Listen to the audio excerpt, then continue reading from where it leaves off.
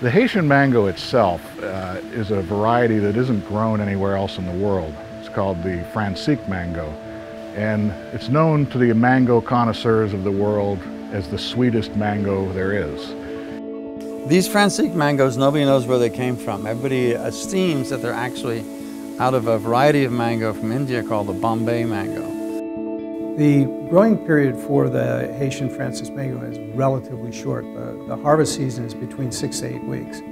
And that's a, that's a really short window, depending on where they are in the country. It could be that their harvest is literally two weeks. And that's it. And that's all the money that they may earn in the entire year. The history of, of uh, mango production and mango sales for, for the producers that we deal with in, in Haiti is is one really of, of um, not getting a fair price. Part of it is because of the logistics, uh, the difficulty in getting to market, the ability to harvest them themselves. It's an extremely important aspect of, of what we're doing there and supporting these people taking responsibility for their lives, for their fruit. The Haitian mangoes are grown by individual farmers. They're really trees that exist in people's backyards or on people's land. It's not farm or plantation based at all. So there are thousands of individual farmers.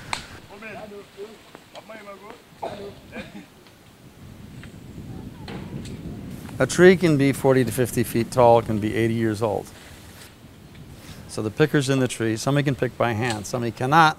He picks with a cayette, which is a long stick with a sack on the end. And with the sack, he kind of jiggles it and catches the mango, brings the stick in, takes the mango out of the bag, throws it down. Then they're loaded either into baskets or basins, and people carry them on their heads or on the backs of donkeys and then take them out near a road.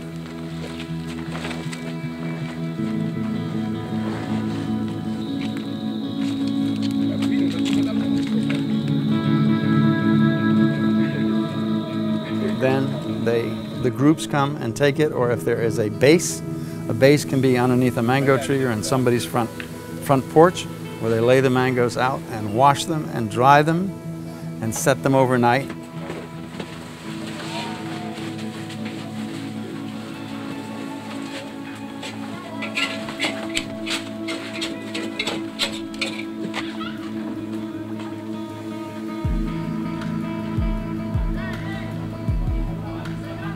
next day, they are shipped off to the export plant.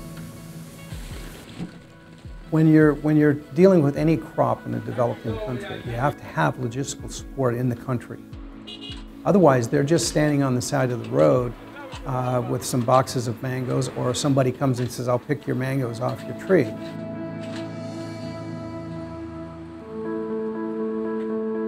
Perry Exports uh, supplies the logistics for all of these, literally thousands of uh, small producers.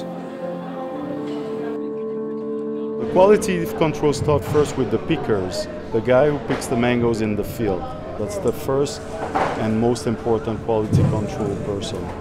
After that, whenever it comes in the packing house, we have our selectioner, the guy that, that sorts the fruits, and uh, you know these guys know exactly what to look for.